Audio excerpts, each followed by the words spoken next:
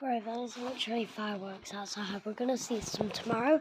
Look, let me show you what I mean. Might not be able to see them, but you can actually see the light. Look, let me show you.